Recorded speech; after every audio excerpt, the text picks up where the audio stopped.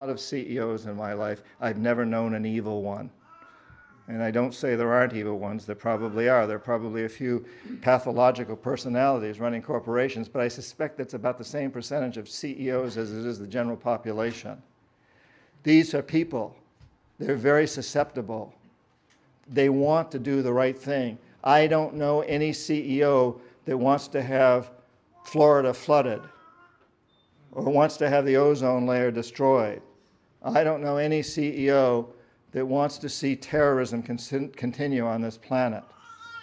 These people are looking for a reason to do the right thing, and it's you and I who must give them that reason. And it doesn't take a lot. With Mike Brune at dinner tonight, Mike was saying to me, I don't think most people realize how easy it is to bring these corporations around. Now, that isn't to say it doesn't take work. Mike and his people work hard. But it's very, very doable. And now we need to ratchet it up a notch. Not just save rainforests and not just save the ozone layer and not just create more jobs for minorities, et cetera, and get antibiotics out of chickens. We need to ratchet this up a notch and say, listen, if you corporations can set as your primary goal to be good citizens, to create a good planet for every child, there goes another little baby out the door right now, and every time I see this, it brings this home so clearly to create a good planet for all the children, then everything else will start to fall into place. And we can look to these models Rainforest Action Network, the, the uh, Civil Rights Movement, the Women's Rights Movement, Pachamama Alliance, these organizations, Conservation International, there's so many that have done so much. And so I guess what this comes down to at this point is you, me. What can you do? What can I do? What can we do together? My goal here tonight, the only reason I'm really on this speaking tour is you can probably tell I don't enjoy standing up in front of a group of people talking. Um, I do actually. It's fun being with you. um, get to meet such wonderful people. Um, but my goal here tonight, the reason I really do this is because I, I'm hoping that every one of us will leave here tonight committed absolutely committed to begin tonight and continue every day to do one thing, at least one thing every single day to make this a sustainable, peaceful, and stable planet for everyone everywhere because it can't be that way for anyone anywhere unless it's that way for everyone everywhere. So we must ask ourselves well, what can we do? What can you do? And in the secret history of the American Empire, which is conveniently up here with this ominous looking guy with the sunglasses. Um, there's a long list of things we can all do. And most of you already know these things. You know, you, you uh, drink water out of the pitcher, good Berkeley water. It's interesting, not out of, you know, not from Fiji. Uh, it's interesting uh, traveling around the country, the different bouquets. I just, I was in Chicago and then Seattle and Portland and now Berkeley, and you get, I mean, it's really fun. It's like trying micro brews or, or good wine. Hmm. Um, hmm. ah, full bodied. Good water.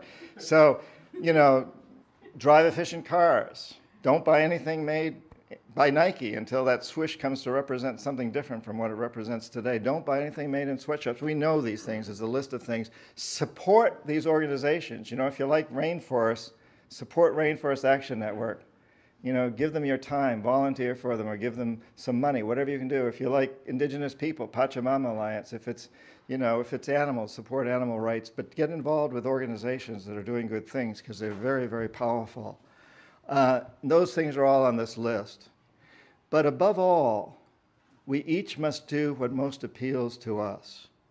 Every one of you has a passion. You have a passion, and you have talent. I'm a writer. It's my passion. I hope I have some talent as a writer. Whatever you are, whatever you do, you have tremendous passion and talent. And I can't tell you what, exactly what to do with that passion and talent. I, am not going to offer you, you know, the pink pill for stomach di- digestion and the white one for a headache. And I'm like a corporation telling you what to do. But each of you has incredible passions and talents. And I grew up in rural New Hampshire. I come from 400 years of Yankee Calvinist, three, 400 years. I, my ancestors fought in the American Revolution and every major war since. I'm a real patriot. I love this country. I'm very loyal to it. I know we can do better than what we've been doing. But growing up in rural New Hampshire and uh, steeped in the, in the lore of the American Revolution, which my mother did extensively with me, I came to realize that we should all be extremely thankful that Tom Paine did not try to lead armies, and George Washington didn't write pamphlets. And Benjamin Franklin didn't do either. He was in his 70s and he went off to France and convinced the French to become our allies. Paine wrote pamphlets. That was his passion and his talent. And George Washington was a damn good leader of men, even though he lost every battle for a couple of years and didn't try to write pamphlets. And, Franklin, and, and Benjamin Franklin did his thing. And everyone out there, the women made the clothes and molded the bullets, the children molded the bullets, and the Gloucester fishermen became the, the Navy. They didn't wait for someone to tell them what the right thing to do was. They knew what they could do and where their passions were. And each one of us must be that way. I saw a, a cartoon just the other day that was uh, these humanized sheep you know, sheep on two legs. They were at a cocktail party. And the first sheep says, Well, what should we drink? And the next sheep says, Do you think we ought to dance?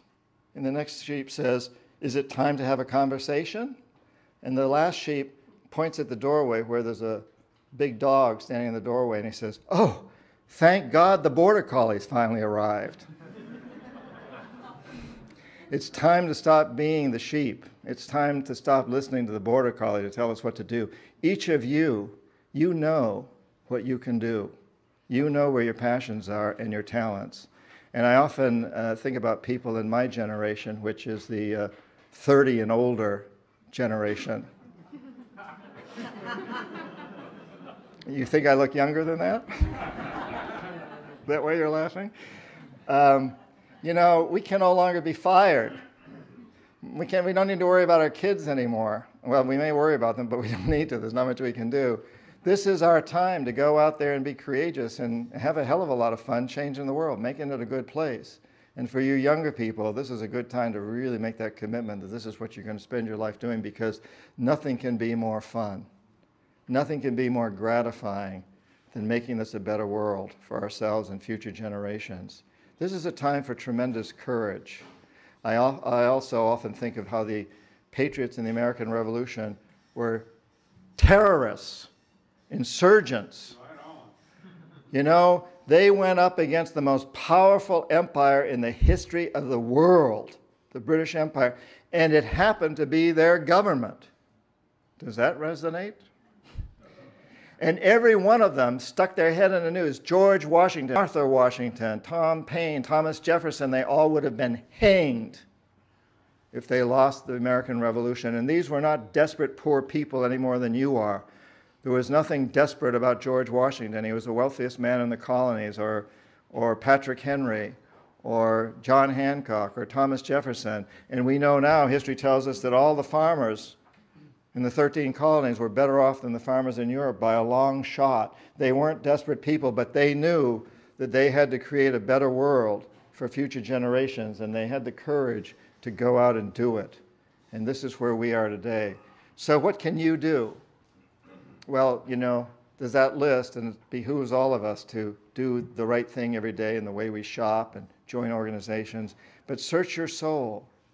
What is it? What is your passion? What are your talents? Growing up in rural New Hampshire, I had no idea that African Americans in parts of my country had to ride in the back of the bus until Rosa Parks showed me. Who the hell was Rosa Parks? She's you. Every one of us can sit on the front of a bus. It may take a little courage, but we could do it. And I had no idea that the DDT we were spraying on those mosquito infested swamps behind my house was killing birds and fish until Rachel Carson wrote a book called Silent Spring. Got rid of DDT and started a whole environmental movement. Who the hell was Rosa? Uh,